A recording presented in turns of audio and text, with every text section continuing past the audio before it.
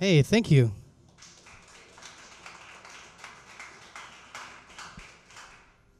Is there like a clicker that I need to know about? It's on the table. How's everybody doing so far? Awesome. Is this? Yeah. Um, like you said, my name is Matty Steinkamp. I'm born and raised here in Phoenix, Arizona. Um, I'm an Irish American filmmaker, um, and uh, I totally love uh, everything that you're all talking about today. Like, it like fills up my heart and my soul seeing so many people talk about the idea of the power of storytelling, um, how you can use it for yourself, how does it grow the economy in general, um, and that's really what I want to talk about today. Um, being an artist, you go through these hills and valleys of financial security, uh, financial, you know, pain, um, and you really don't, you don't really grasp it right away how powerful yourself is, how you can control, you know, your outcome, how you don't have to depend on the industry to find success, and that's that's really like where my story like begins. Um, about 12 years ago, I was homeless.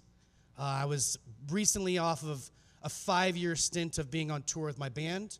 When we got back to Phoenix, we had nothing, and nobody really cared. It wasn't nobody was there to be like, "Hey, let me help you get a job."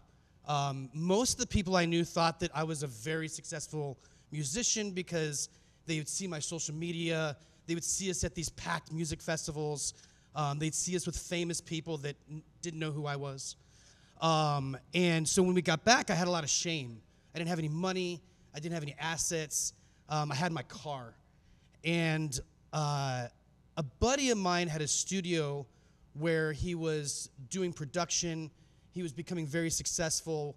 And he said, You know, I know you're trying to find a place to stay and you do editing because you would make music videos for your bands. Why don't you come and do some editing at my studio? And this was the first time that someone like really like gave me a handout. It was like, I know you're suffering. I know you need help. Let me give you a hand. And this kind of like this just like got to me. I was like, anything that comes after this, I'm gonna be just like this guy, my friend. Um, I'm gonna do whatever I can. If, if, if I make it out of this hell, you know, I'm gonna I'm going to give back. And uh, it took a few years. Like I was an editor at the studio. We would do real estate. We'd do commercials. Uh, we'd make short films. And I didn't really have a purpose in like my own art. I was making everybody else's stuff. Um, I was the video guy for all these small businesses at this studio. And it was fun. Um, I made money enough to get an apartment. I made enough money to pay back my bills, start paying taxes again and be a person that was a contributor to society. And but I still didn't have purpose. I didn't like know what my art was. I hadn't made anything that was mine. Um, even when I was in a band, I was singing somebody else's music, the songwriter of the band. And um, I was super passionate about a lot of the issues that Arizona was facing. Um, I came up in this public school world here. Uh, I had music classes in school. Um, we had extracurricular activities in school that were part of public school. And when I started like taking a look at seeing like how am I going to grow my business? How am I going to start my business? What is it? I wanted to like center around the issues that maybe young people were facing. Um, their access to the things that I had access to wasn't the same anymore. Kids weren't able to be creative. Um, they were forced into learning in a very uh, test based world. And being an artist, like, I fail at that. I'm dyslexic. I can't read fast enough. I can't memorize things for test. I failed sociology and psychology easily three times in college. And these were like hurdles that I had no idea were like normal, that other people, other artists, like totally go through this. And through all that, I started saying, okay, I want to make films. I want to make documentaries. I want to help people share their stories in a way that is direct from the source. I don't want to be the newscaster out there being like, so and so said this. Well, I'm here today to talk about these people. I wanted to give people like their own platform, their own chance to share their story in a way that was important not just for themselves, but that would have a positive impact on the community around them. Um, I started my company, Mango Skies Films, and I left the studio that I was working at. My friend was like, hey, good luck. You know, go do your thing. Like, you killed it. You know, you've done so much for me in these past few years. Good luck, all this kind of stuff. And right after that, I, I had like my own clients that were wanting to make documentary films with me. So I didn't really have this like time where I needed to go find the market. The market at that point was already coming to me because I was already good at what I did. I didn't know what I was going to do yet with that capacity, but people were coming to me. There was this film that like always went through my head. Uh, everybody's seen Field of Dreams, Kevin Costner. Um, if you build it, they will come. And this began like literally like the motto of my business, the motto of our film festival. Um, really, everything that we do now in my business and in my life is if I build it, people will come and they'll buy it. And it's not even that. Like if you, if I help you build it, people will come and buy it from you. If you tell your story, people will listen. Um, a bunch of friends of mine, these two amazing people are here, Peter Juarez and Cash Cole. We got together and we made this documentary film. Um, it's called You Racist, Sexist Bigot. Uh, it focuses on the discrimination here in Arizona and being a person of color, a person of marginalized communities that have to live and breathe in this crazy world that none of us, being a straight white man, know about. I didn't know what it was like to be a transgender woman from Mexico sitting at a bus stop. We got to hear these stories directly from them. We made a film. We fundraised after the film was done, and then it got into about 25 film festivals worldwide. We won seven of those film festivals for best film. We won, thank you. Uh, myself and Peter Juarez were invited to have our film at Phoenix Film Festival. At the festival, we were the only documentary to sell out all of our screenings. We were not nominated for an award. PETA, who is a queer Guatemalan filmmaker, was not asked to speak on any panel. She was discriminated against. I was asked to speak on panels. We're co directors. We asked, can we get PETA on this panel? Can we have her speak? Sorry, we don't have time for that. The next festival came around in LA.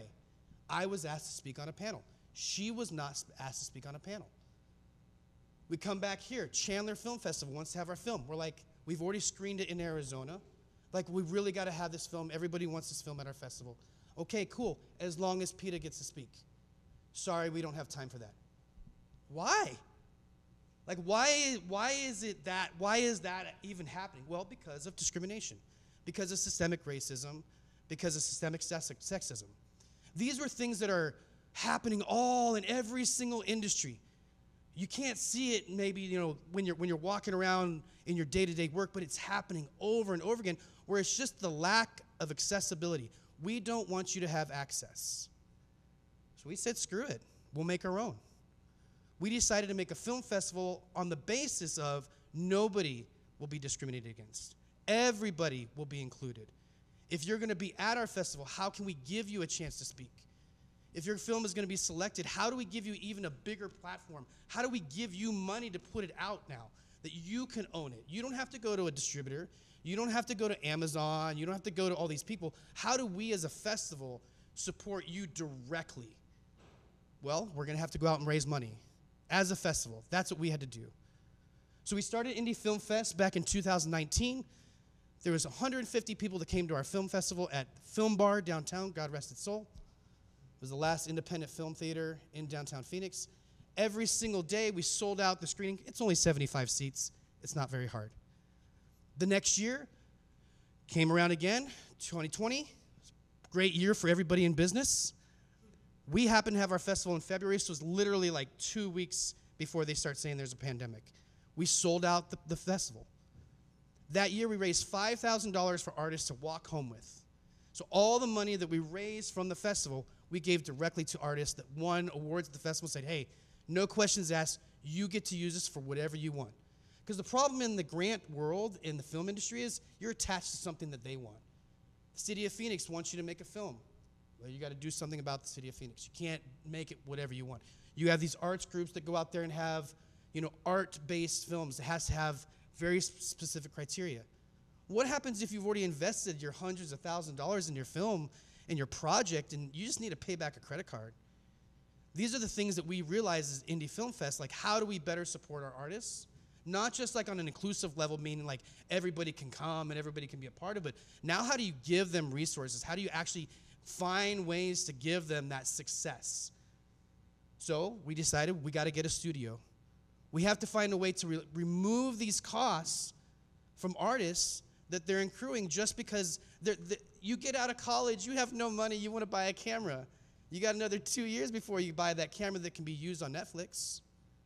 Or you got to get a loan, you got to go get a gig that you don't really want to do. These things are all stopping the success and the progression of artists coming out and being successful right away. The film festival circuit, you, you see these studies come out, USC, 20% of the filmmakers that win awards in the film festival world are women. Only 20%. That means 80% is just given away to men. How do you create access or accessibility to all the filmmakers if there's already a lopsided scenario of who's making films? You have to go out there and seek it out, is what we learned. You can't wait for it to come to you. You have to go and find awesome women, awesome men, awesome, you know, people around the world and say, "Hey, how can we help you make a film? You have an idea. How do we do this?" You can't just wait for it to come to you. We can't sit by and just let discrimination keep going. We have to put a foot down. And then we can't just be like, okay, I'm not going to not let it happen. I'm going to now move forward and say, how do I help those that are being marginalized? Those that are being, you know, taken away from their, their access to resources? How do you actively get out there and do it? So every year, we have our festival in February. It start, started with a two day festival, and now it's a five day festival. It started with 150 people coming to our screenings. This year we had 3,000. This year we raised $20,000 for our artists, and now we're even moving to a, a $50,000 grant for next year that we'll be giving artists $10,000 a piece to walk away with. My good friend Dominic here is also part of the, the festival. His organization raises money just to give to artists in our festival. It's one of the nonprofit things that we uh, like to partner with is that people are actually going out there making a direct impact on community. Not this idea of like, okay, we need to build up our business plan first, business model, and then maybe five, ten years down the road, we can start impacting community.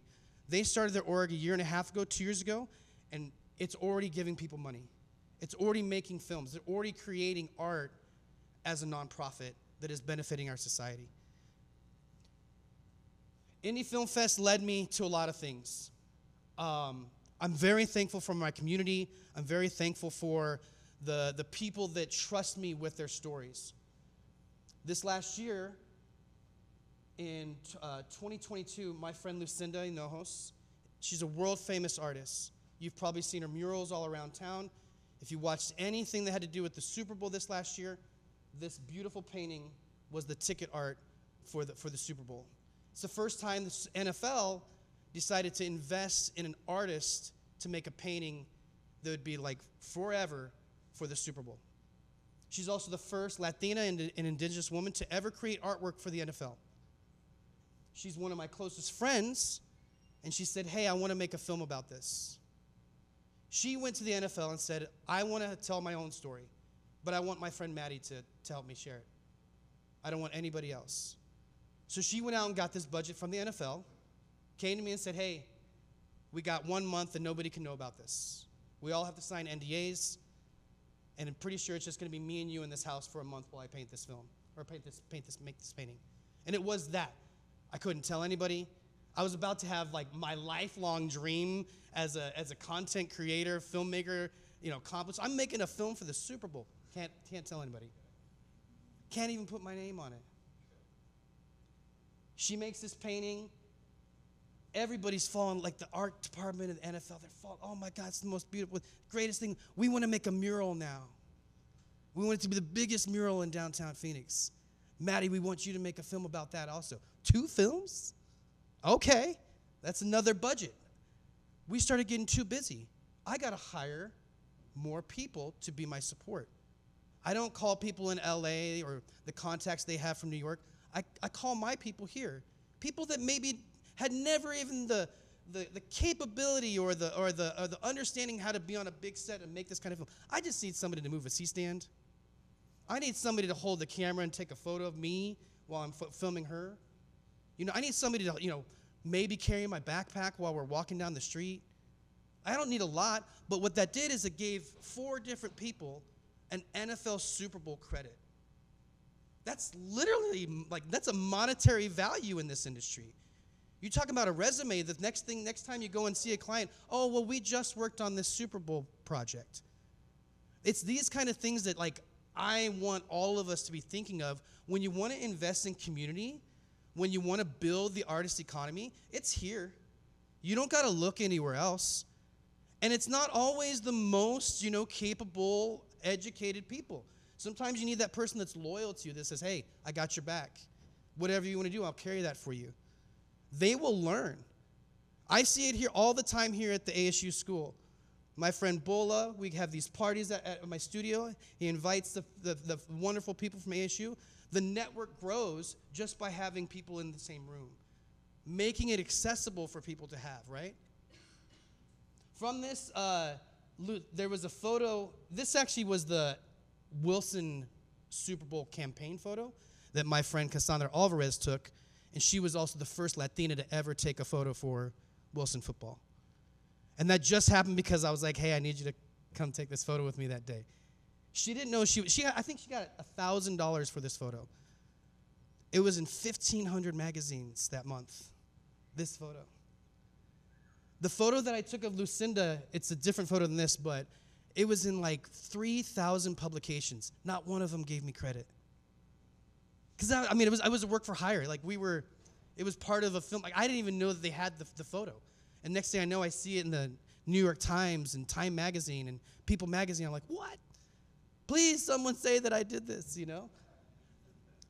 Some things you do in the community you can't take credit for. And I think that's acceptable. I think what you have to do is you keep going. You have to keep going. You have to keep asking for more. You have to keep, you know, being an advocate for your friends, for the people underneath you. We started our studio uh, three years ago with Indie Film Fest. It's called The Garden. I don't rent it to anybody. It's free for all artists to come and use it.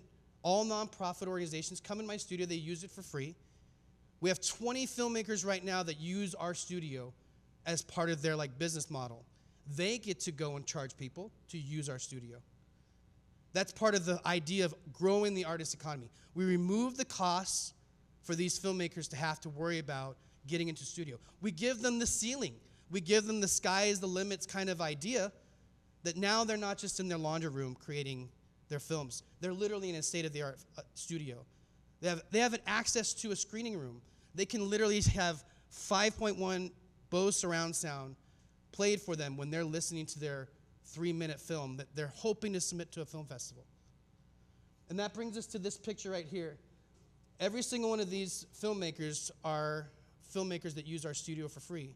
And now every single one of these filmmakers have films in film festivals all around the world. Black in the Newsroom, Colette Watson right there in the middle, has been in Time Magazine.